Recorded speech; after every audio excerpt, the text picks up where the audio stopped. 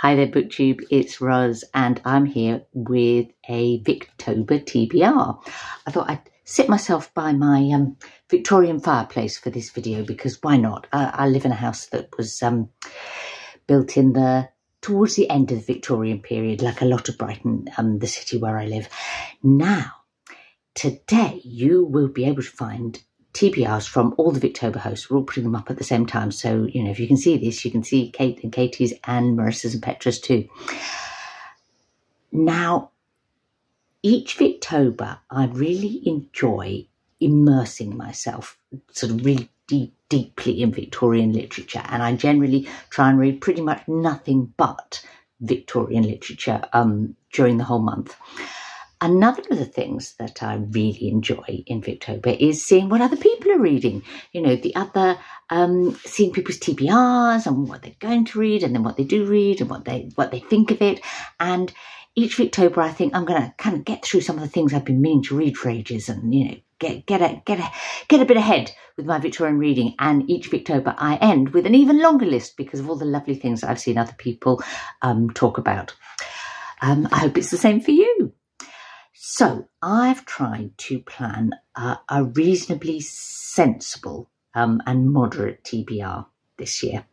And first thing on it is the group read, which is Anthony Trollope's The Way We Live Now. Now, um, we're spreading that over the whole month. If you want to see the um, schedule for that, um, because you might want to join in, and I hope you will, because it's a great book, uh, it's on everybody's announcement video, but it's also on the um, a thread in the Discord server that we've set up for um, Victober. Do come and join the conversation there. There's, I don't know, 300 or so booktubey people on there now enjoying talking about what they're going to read and um, what they're doing for the different challenges and so on. And I'll put the link below.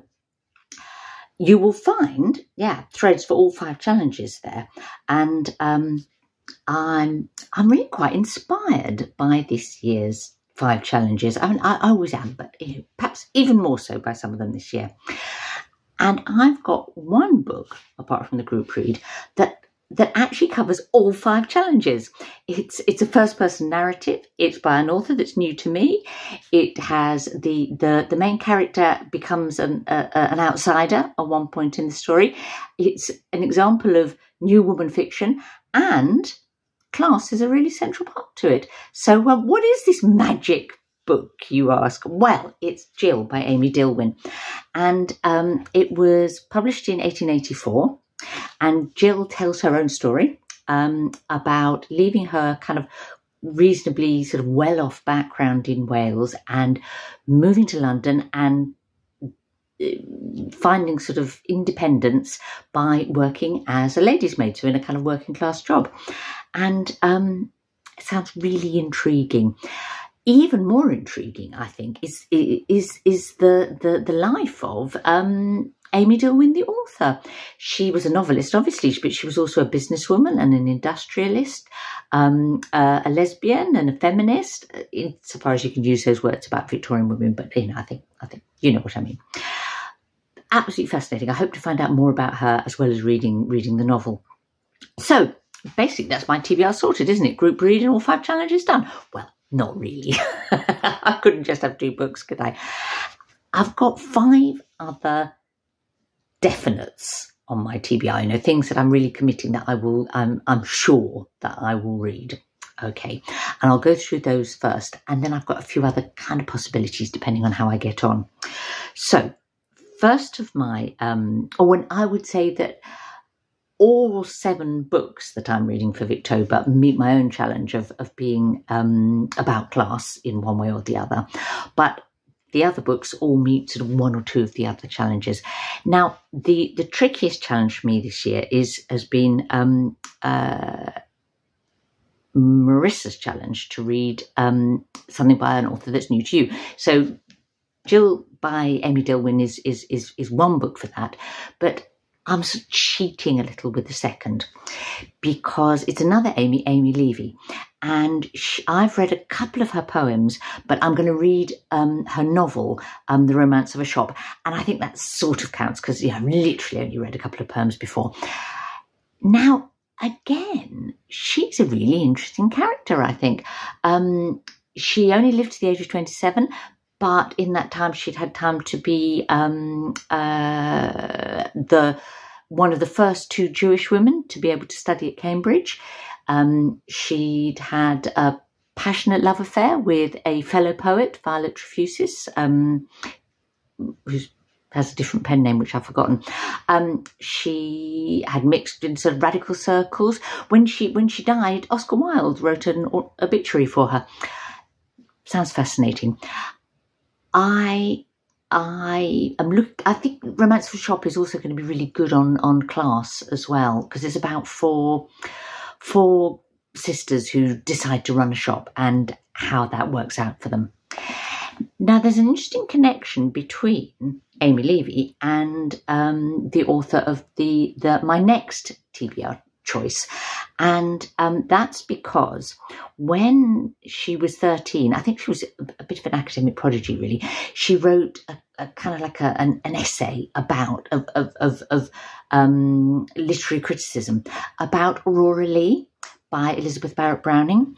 Now, um, Aurora Leigh was published um, in 1856. So um, it would have been, you know, about 20 years before when um, when Amy Levy wrote this wrote, wrote her essay about it. So it was sort of new but not new new.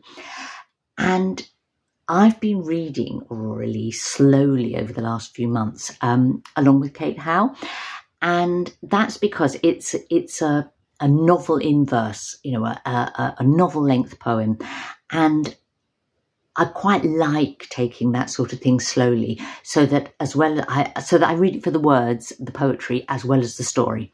Although the story is an interesting one. So my plan is to do to sort of finish the last sections of it in Victober and then sort of but also have a look sort of back through the whole to get a sense of it as a whole and um uh, as uh, and it definitely um talks about class. It definitely talks about being a, stranger or an outsider. Um, and it's another first person narrative. So that's my second book for Petra's um, challenge. The other thing I would say is that it really looks at the position of women. The, the, the, the, protagonist, Aurora Leigh, is sort of struggling with how to maintain her emotional and financial independence so that she can be the writer that she wants to be. And so it doesn't count for Katie's new woman fiction challenge, because unlike um, uh, the romance of the shop and, and, and Jill by Amy Dillwyn but it, it's almost like a precursor, um, I suppose, to to the new woman. Um, yeah, the, you know, sort of where those uh, ideas were sort of brewing 30 years before. So, normally every Victober I try to get in a, a, a sort of a, a novel, a major novel by a major Victorian author that I've always meant to read and, and, and haven't yet got to. And this year, that's going to be The Woodlanders by Thomas Hardy. Now, I love Thomas Hardy. He wrote quite a lot. I've read quite a lot, but there's still significant novels of his that I haven't read. And uh, I think Jen the librarian said that The Woodlanders was her favourite Hardy, and so that's as good a recommendation as I could wish for. It's um, a book about class again. Also, it's my next choice for the stranger or outsider prompt because Grace is a, a, kind of like a country girl who then has a more sort of middle class education and um, then comes back to her sort of home home village and realizes that she's now kind of almost a step apart from um, the Giles the woodsman who who loves her dearly and she turns her attention to an interesting newcomer, um, the sort of rather smart um, and better off, or you know, higher social class, Dr. Edred Fitzpiers. Now, knowing Hardy, this is not going to end well. We shall see. Now, a few years ago, I read my first novel by an, uh, uh, another major Victorian novelist that I'd sort of neglected up to that point, and that's George Gissing. And I read um, New Grub Street, which is probably his best known novel. And if you haven't read it, I would definitely recommend it. But ever since then, I've been meaning to read more, and in particular, um, to read The Odd Women, um, which came out in 1893. And this Victober is the perfect opportunity because The Odd Women is one of the books that Katie's recommended, um, where a male writer is writing um, drawing on the sort of new woman movement. And is that a contradiction in terms to read a, a, a book about new women by a man? No, I think that the, the, the, I suppose what's interesting is um, that sort of thoughtful, intelligent, sensitive male writers were also trying to think you know, about the position of women and how that needed to be different and how they might need to change to accommodate that. We shall see. I, I, I, I hope. I hope it turns out to be what I want. It, it, the odd women of the title are a, a, series of unmarried women that he writes about, and um, how they make a living, and you know, with varying degrees of, of success. So again, you know, class very much features there. Now, my last definite Victober read, I wanted to be a play because, you know, I've got some novels, I've got poetry in the shape of Leigh.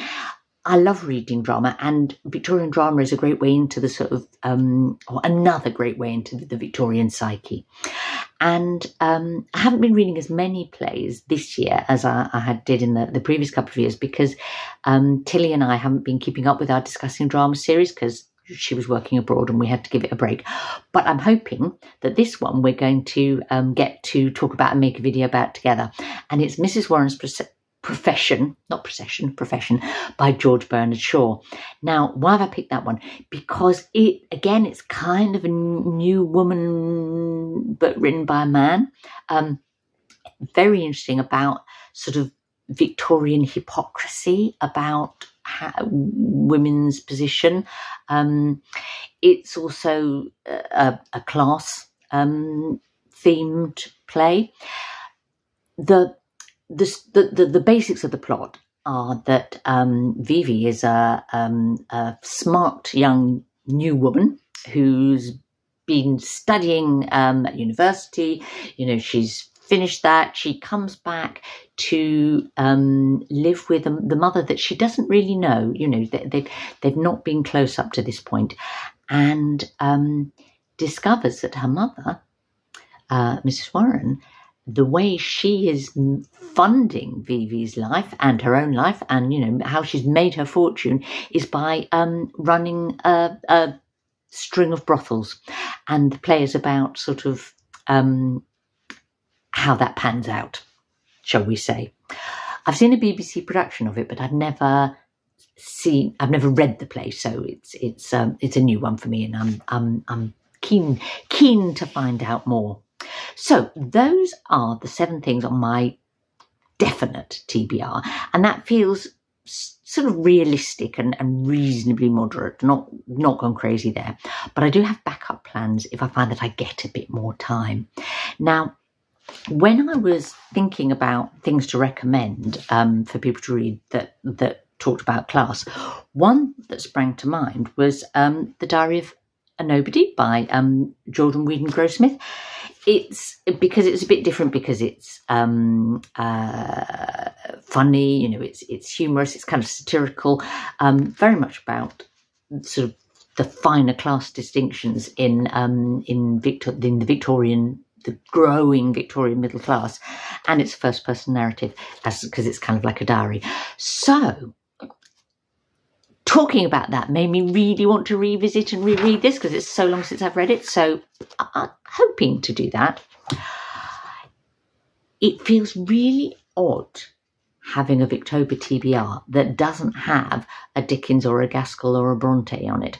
And I think I might have to let Dickens rest for for for this Victober. But if I have time, I would like to read the last of Charlotte Bronte's novels that I haven't yet read, and that's The Professor. It's it's it's not as long as some, so I'm I'm you know cross my fingers that I will get get to this. Um, I I kind of thought perhaps it was a sort of second ranking um, Charlotte Bronte novel, but I've heard some positive things about it. If you've read it, tell me what you think. I um, I can't have a um, a, a completely Gaskell free Victober. So at the very least, I will read one of her short stories. Probably something from um, Gothic Tales, maybe an Old Nurse's Tale. We'll, we'll, we'll see. But if there's enough time, I will read her novella Cousin Phillis, which is, um, you know, a bit of a compromise. Not as long as a novel, but but fingers crossed, doable. Then finally, only reading the rest of Aurora Leigh doesn't feel like enough enough Victorian poetry in in my Victober. Last year I read lots of poetry because that, that was my challenge to encourage people to read. Um, I think with the sort of whole new women and, and the sort of precursors of that in my mind, I think I might read um, Christina Rossetti and um, I'll see how much of her selected poems I might find my way through. I read Goblin Market um, last October, and for the first time in, in years, and enjoyed it so much that, um, yeah, I'm keen to go back to Rossetti. So that is my Victober TBR. I would love to hear about yours. You could put it in the comments, but better still, join the Discord um, server, and there's a whole thread with TBRs on it, and you know, a chance to see other people's plans and talk about them and, in, in, and enjoy that. So, you know, link below and um, roll on Victober.